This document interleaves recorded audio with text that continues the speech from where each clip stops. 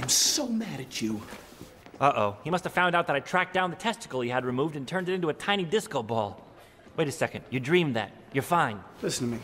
You're the man around here now, so you gotta get your strut on, you know what I'm saying?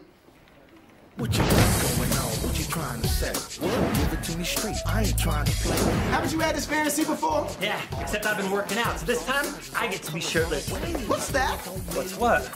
Did you make a disco ball out of my testicle? Get out of the fantasy! Get out of the fantasy! Oh, hell no! From Sunday to Sunday. That was close. Get Joe strut on. I can get with that.